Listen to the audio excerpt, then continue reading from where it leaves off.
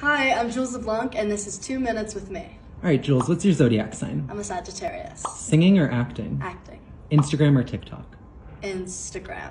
What's your favorite memory on set? Um, probably when we get into the moods where we can't stop laughing and we get yelled at because we're laughing too much. Can you do any accents? I I can. What what accent? I can do a British one. Would you Oh. like to hear it? This Yeah, is it. there you It's go. British accent. If your life was a movie, what would the title be? This is a good question. I have no idea. Probably just my life. Jeans or sweatpants? Sweatpants. Favorite holiday? Christmas. First celebrity crush? Justin Bieber. Which Hogwarts house are you in? I think I'm a Gryffindor. What was the first thing you did today? Um, I think I went on my phone, which isn't good, but I did do that. What's the last photo you took on your phone?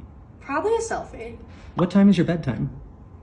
I don't have a bedtime, but it's probably like 11. Hash browns or curly fries?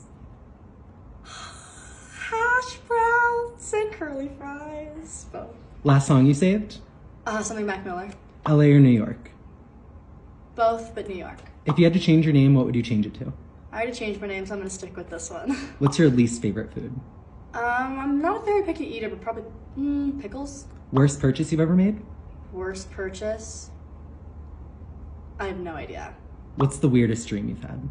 I had a dream that maggots were coming out of my ears last night.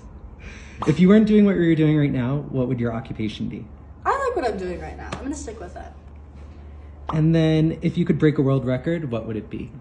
Fastest Rubik's Cube. Er. Well, Jules, that is two minutes on the dot. Yes. Thank you. Thank you.